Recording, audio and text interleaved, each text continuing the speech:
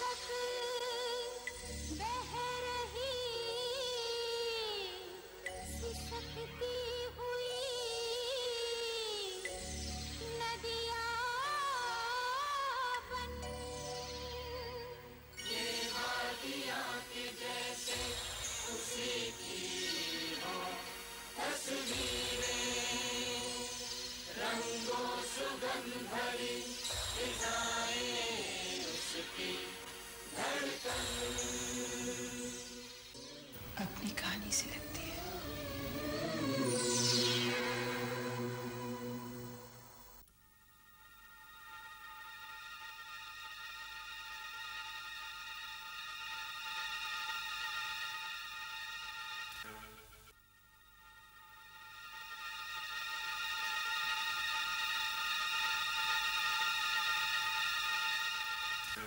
कैद में रहना ही मेरी तकदीर बन गया है।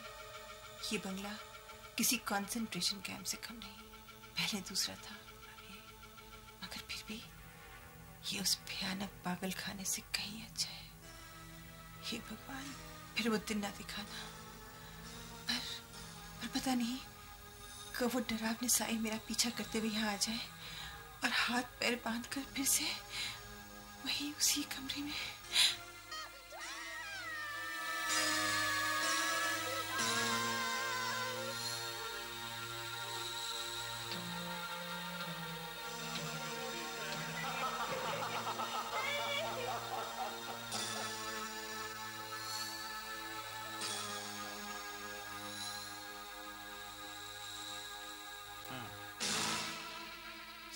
उसे बहुत ही जल्दी ढूंढ निकालेंगे। आप यूँ समझिए कि उसे पकड़ लेना हमारे बाएँ हाथ का खेल है। अप ये बात ना जाने कितने दिनों से दोहरा रहे हो तुम।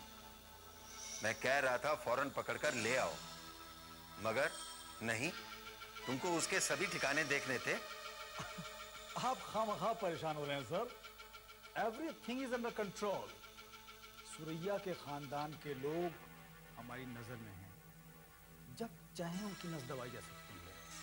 हाँ सर। और वैसे भी सर ये बाल बच्चे वाले और बहू बेटियों वाले लोग खतरों से नहीं खेलते। जरा सी नस दबाई हमने और वो झट उगल देंगे। उन्हें नूतन का ठिकाना पता हो तब ना? ना सही। सुरैया और उसके ससुर को तो ज़रूर पता होगा। मैंने अब सबका पता लगा लिया है। तुम अपने आप को धोखे में मत रखना। अरे तुम नहीं जानते, सुरैया के ससुर किसी साधु महात्मा से कम नहीं हैं। जान दे देंगे, मगर किसी और की जान खतरे में नहीं डालेंगे।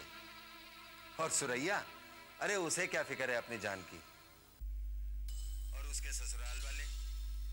वहाँ सिवाय बाबा के सभी की आँखों में खटकती है वो। उनके लिए कुर्बानी दे देगी वो?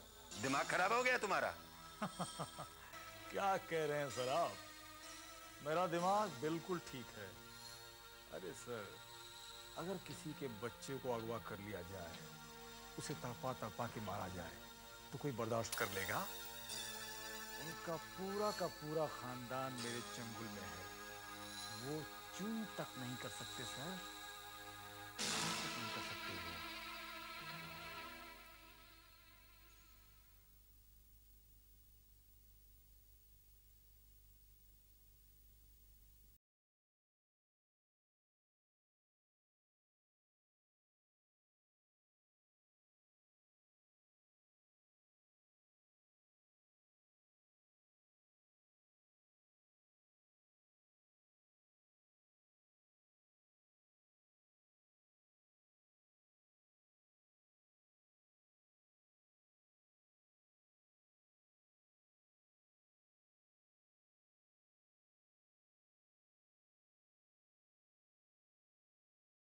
कौन मेरा पेन उठा के ले गया? मैंने तो नहीं लिया। हम्म, आप लोगों की शैतानी है। आप ही यहाँ से मेरे पेन उठा लेते हाँ। बोल। नहीं नहीं मैंने नहीं उठाया। अच्छा होमवर्क किया आपने? आजकल छुट्टियाँ हैं। स्कूल कॉलेज बंद हुए नहीं और हमारी जान उलझी दिन रात ये उधम करते हैं। डर के मारे मैं इन्हें बाहर भी नहीं भेज रही आजकल। लड़कियों से भी कह दिया है? सहेलियों को भी बता दो। बाग बगीचे ना निकला करें। कह तो दिया है। मगर क्या होने वाला है? मुझे तो बहुत डर लग रहा है। सारी सारी रात नींद नहीं आती। खिड़की के बाहर बैठी बैठी झांकती रहती हूँ। मुझे तो लगता है भाभी सच कसम से कह रही हूँ कि हमारे घर पर कोई नज़र रखे है। ऐसे लगता है अंधेरे में कोई घूर रहा है हमारे घर को। डर के मारे मेरी रूह काँप जाती है। देखो रोंगटे पे खड़े हो गए। क्या बात है? तुम दोनों मायूस क्यों बैठी हो? तब क्या करें? मुझे तो लगता है वक्त आ गया है कि हर कोई अपनी अपनी सोचे। कि हमें यहाँ रहना है या नहीं? कैसी बातें करती हो सुबह सुबह? तो अब क्या करें? हमारी तो यहाँ कोई अहमियत ही नहीं है। बस चलती है तो केवल उसी की जिसे आप सबकी जान खतरे में डाल रखी है। कोई किसी की जान नहीं ले रहा है। और रहा सुरैया का सवाल? उसका भी फैसला जल्दी हो जाएगा। अरे भाई अब तो अड़ोस पड़ोस वाले भी पूछने लगे हैं कि कॉलेज बंद है तो कहाँ जाती है ये हर रोज? कभी दिन रात कभी सुबह सुबह। भाई क्या बात है? घर की इज़्ज़त का तो कोई ख्याल ही नहीं है। सबकी जान ऊपर से खतरे में डाल रखी है। और ये सगाई सर पर है। क्या खाक मज़ा आएगा इस खून खराबे में? पुलिस को खबर क्यों नहीं करते? पुलिस को खबर कर दी गई है। क्या? कब? चुप धीरे। किसी को कानो कान खबर ना हो। अगर उन तक ये बात पहुँच गई तौबा तौबा। तो क्या हुआ? वो हम उनके कुछ नहीं लगते। माना उन्होंने सारे जमाने का जिम्मा उठा रखा है। लेकिन फिर भी हम भी तो उसी जमाने में आते हैं। हमारे दर्द का उन्हें कुछ नहीं फ़र्क पड़ता। देखो पुलिस छानबीन कर रही है। तुम लोग फ़िक्र मत करो। क्या खाक छानबीन करेगी? अरे बाबा की कार में भनक भी पड़ गई तो लेने के देने पड़ जाएँगे। कौन आया है?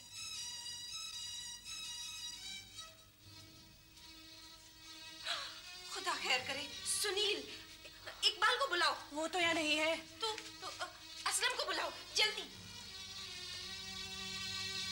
अरे वेरी गुड छुट्टियाँ हैं फिर तो हम घूमने चलेंगे। हाँ? बोलो कहाँ चलोगे? लाल मंडी। हाँ। हाँ हाँ बहुत खूबसूरत म्यूज़ियम है वहाँ पे। क्या? चलो चलो भैया यहाँ से चलो चलो बाहर चलो। क्यों उठा रहे हो? नहीं नहीं बाहर चलो चलो चलो बैठने दो इनको मेरे पास बैठे हैं नहीं डांटो इनको प्रणाम बाबा। अरे। सुनील बहुत दिनों के बाद दिखे। जी बस ऐसे ही मैं कुछ केसेस में फंसा रहा इसलिए आ ही नहीं सका। इसका मतलब है कि अब हमें भी यहाँ कुछ ऐसे केस बनाने पड़ेंगे कि तुम यहाँ आ जाओ।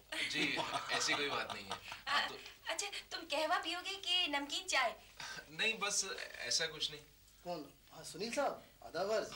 आधा वर्ष कैसे हैं आप? बस अच्छा हूँ। अच्छा वो आप आ गए। आपसे बहुत ज़रूरी काम था। हाँ हाँ भाई कहो बंदा हाजिर है। अरे अरे यहीं पर सब बात करोगे।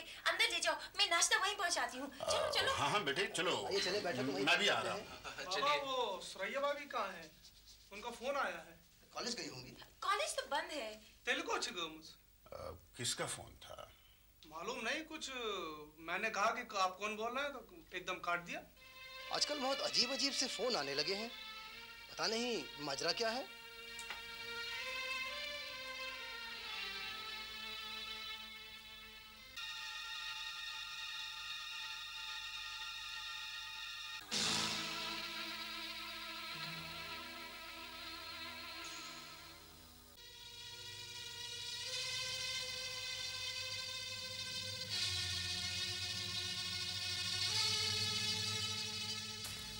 मेरा आइडेंटिटी कार्ड अब तो आपको भरोसा हुआ?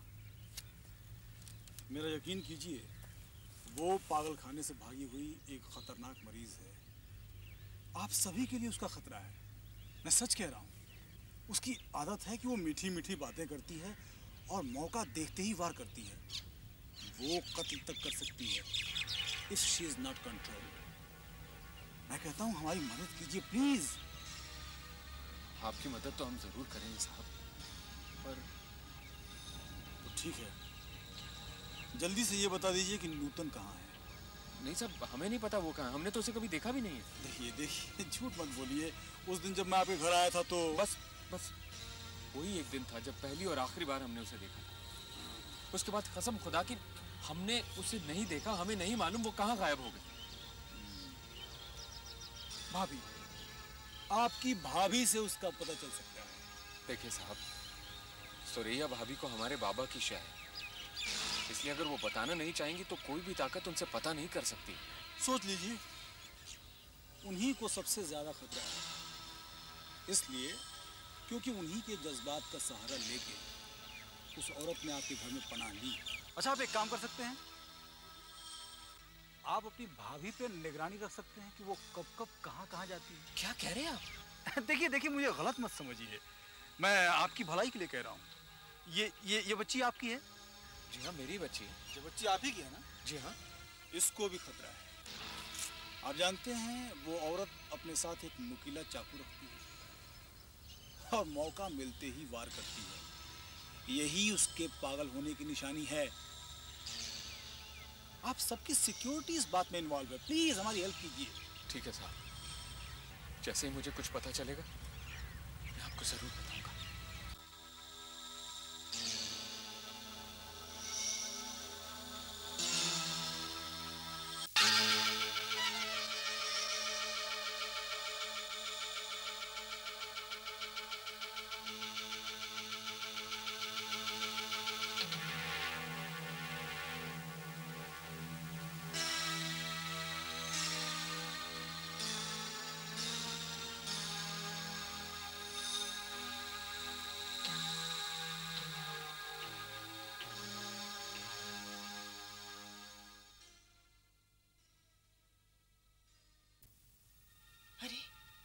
ये तो सुरैया है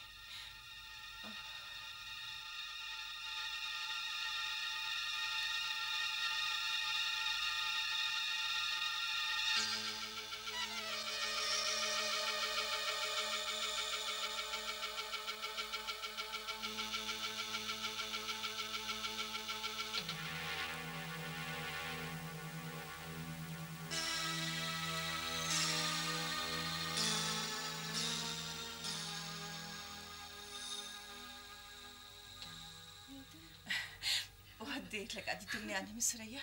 मन कितना घबरा रहा था। बोलो, नागराज की कहानी कहाँ तक पहुँची? क्या होता है आगे?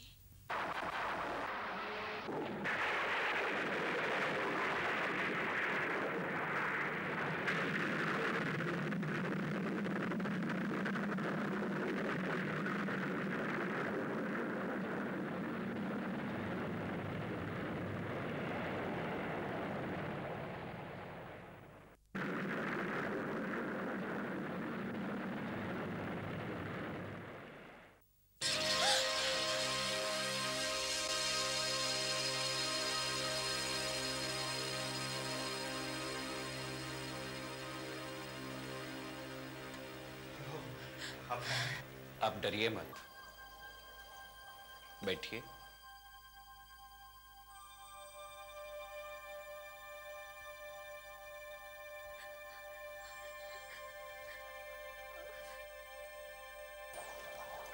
पाताल लोक का त्याग किया मैंने।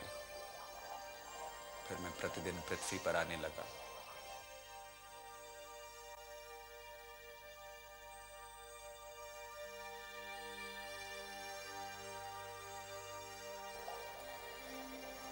मन ही मन अपने इष्ट देवता को याद करके आपके पास आने का साहस किया। डर रहा था कि आपके साथ जा पाऊँगा भी या नहीं। कहीं आप मुझे जंगल में ही तो नहीं फेंक देंगे।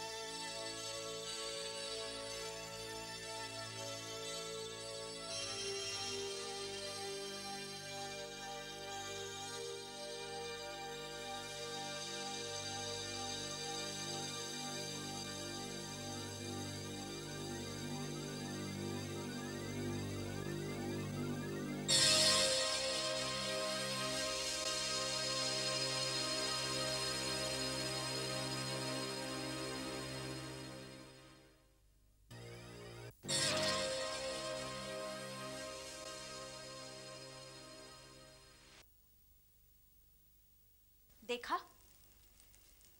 चले ही गए ना? कहाँ गई सारी सेना? उन पर कोई निगरानी नहीं रख सका। चारों तरफ़ सेना को भेज दो। नागराज जहाँ भी हो, उन्हें तुरंत यहाँ लाया जाए। परेशान क्यों हो रही हो? हम निर्धारित समय तक ही पृथ्वी पर रह सकते हैं। फिर तो उन्हें लौटना ही पड़ेगा।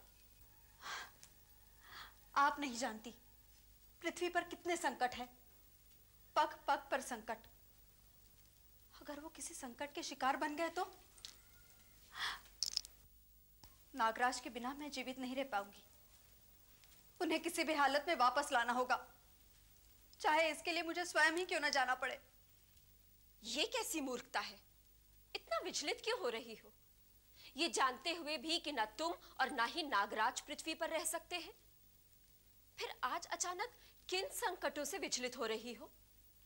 और नागराज कोई पहली बार पृथ्वी पर तो गए नहीं है? पहली बार नहीं गए हैं, लेकिन अब की बार कुछ नई बात अवश्य है। अब की बार इतनी अवधि के बाद गए हैं, और इतनी देर को? और लंबी अवधि के बाद ही नहीं, एक घोर तपस्या के बाद गए हैं।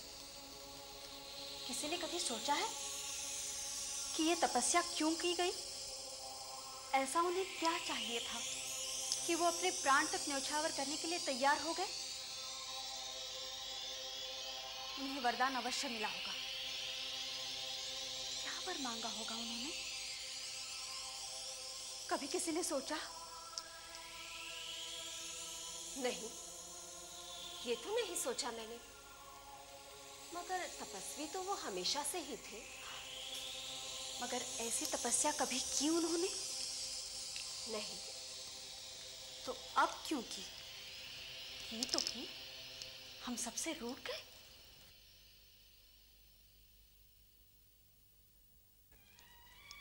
जब अंतस्थल से आए तो मूर्छित थे। परंतु जब जागृति आई तो हम सबको घृणा से देखा उन्होंने। मेरी तरफ़ देखा। तो मुँह फेर लिया।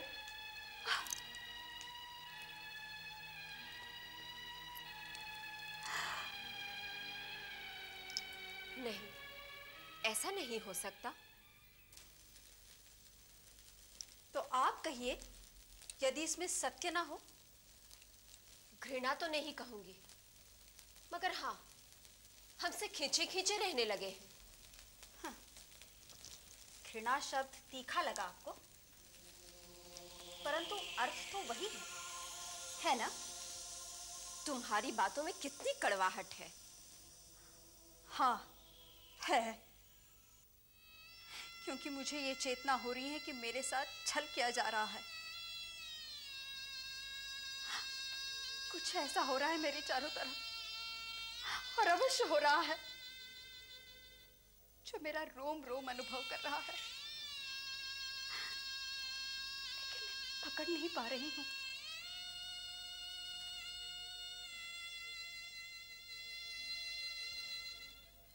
और इसीलिए मन में इतनी कटुता आती जा रही है।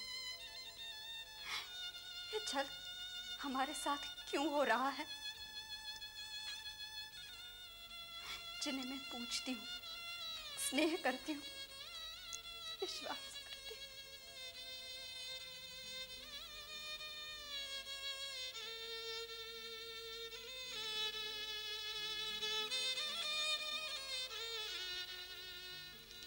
तो ऐसा वो क्यों कर रहे हैं मेरे साथ? मेरा दोष क्या है? हम सबका दोष क्या है? क्या कर रहे हैं वो? ये सब तुम्हारी कल्पना है। तुम्हें भ्रम भी हो सकता है। ईर्षा हो गई है तुम्हें? भ्रम? ईर्षा अपने अंदर झांककर पूछिए अपने अंतरात्मा से। क्या मैं जो कुछ भी कह रही हूँ आपको भ्रम लग रहा है? मिथ्या? क्या आपको मेरी तरह डर नहीं लग रहा? क्या आपको अपने सर्वनाश के चिन्ह नहीं दिखाई दे रहे हैं?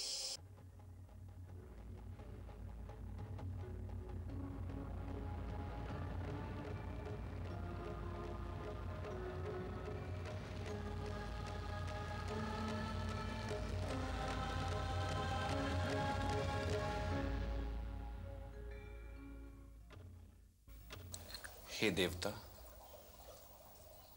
मैं आपके चरणों में नतमस्तक हूँ। मुझे अपना लीजिए। मुझे अपने पुत्र रूप में स्वीकार कर लीजिए। हे देवता, मैं आपसे नवजीवन की भिक्षा मांग रहा हूँ।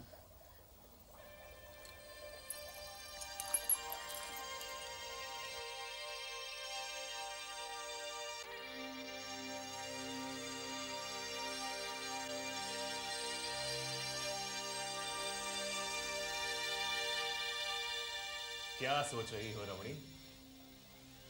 आज भगवान की कृपा से इतना प्यारा शिशु मिल रहा है। है कोई संपत्ति इससे बढ़कर? उठो और लगा लो इसे अपने कलेजे से उठो।